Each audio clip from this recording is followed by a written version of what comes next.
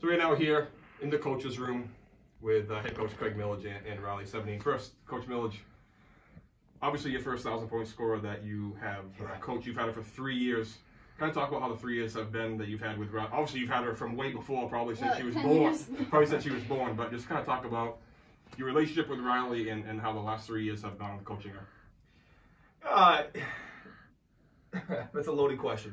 Um, it's just it's not a coincidence. Um, if people knew how much time she put into this craft and what she does, um, they wouldn't be surprised by what happened tonight or what's happened over the course of the last four years. I mean, she's gifted for a reason. Um, since she was four or five years old, she's lived in a gym. And you know, you preach to kids at a young age all the time that if you put your time in, it pays off, and it, it's just nice to see it pay dividends.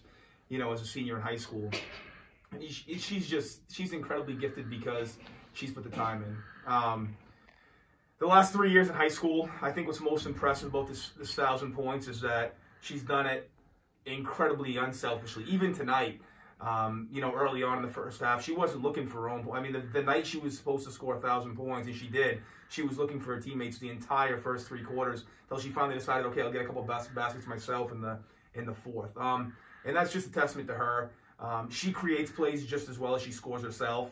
Uh, and honestly, it's just sometimes you just sit back and watch and you just appreciate what you're watching because it's a beautiful thing.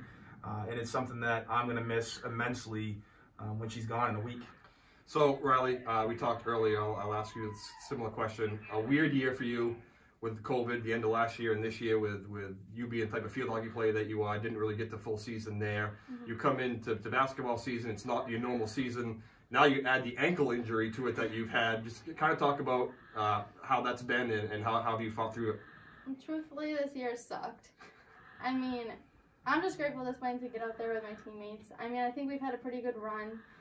We came in season ranked number eight in our conference, and we've lost what two games. Yeah. And I mean, it's not even about winning at this point. I just love all my teammates, and I'm gonna miss them all next year. So I'm not trying to make you cry or anything, but Yeah. al- also a special moment to have your family be able to be here to watch Yeah. this game as well. And I think I heard your brother cried. My brother has never shown any emotion towards me, so that was groundbreaking. But best part of the night for sure. Shout Absolutely. shout out to Avery. And, and Avery Yeah. too. Avery was going to be here on Saturday if you didn't get it. And the rumor was that she was trying to have uh, Cheryl go tell uh, you to go take her out, so she didn't get it. So, she it so that's what it was.